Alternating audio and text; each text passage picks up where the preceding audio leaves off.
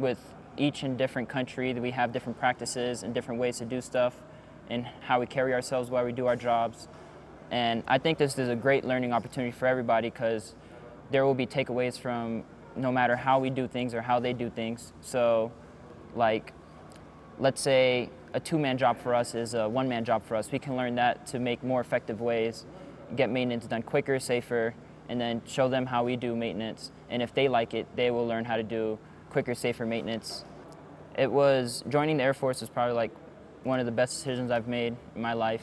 Getting out, learning something new, coming fresh out of high school, not knowing nothing, uh, develop my professional skills, learning how to be a leader, and then they just trusted me with the multi-million aircraft. And they're like, here, this is your baby, this is your aircraft, hone it, learn your skills, sharpen your knife, get it done, safe, put up safe air power, safe jets, because there's a guy in there or woman and that will, has a family and will need to come back. Each and every one of airframes have their own way of doing things, and us as F-16 maintainers uh, in the fighter world, we're very busy. We work long hours, which is all part of the job.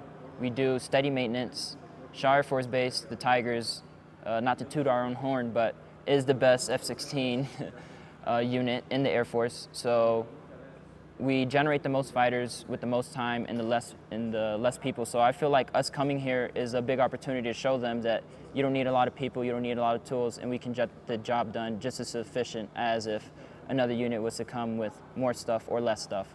We're just here to prove a point that we can do it no matter what, and we'll get the mission done. So I know they are very professional, and I look forward to learning how they do things. Uh, for example, like let's say uh, how they marshal their jets, how they rapidly turn a jet that needs to go up in the air as soon as possible, because I know every nation, every unit, and everywhere that has fighter aircraft uh, does things differently. So I want to see how that um, and take the way that maybe apply it back home if it's just as effective or if not better than what we take. Uh, but it's all a learning opportunity here at this exercise. So uh, going forward, we're just going to adapt if we need to and uh, just take away whatever they throw at us and uh, whatever they try to teach us. We're always open to learn new things. Uh, when people hear, hey, you're a tactical aircraft maintainer, it's not what much people want to hear until they actually get out there. And it's just a satisfaction of the job from getting a broke jet, fixing it, watching it fly is just the best feeling in the world. And not many people can feel that. So I think that it was a blessing that I got this job and I was able to travel to places that not most people can go to. For example, this Colombia. And I feel like Colombia, like not many people get to go to Colombia and not many people get to even have this conversation that I'm having now. So I think this is a once in a lifetime opportunity that I love to be here during this exercise, show them what we know, take away from what they how they do things. And I think it's going to be a great experience. I'm already loving Colombia. The food's great. The people are awesome. And I feel like it's going to be a great time. Everybody's going to do something different.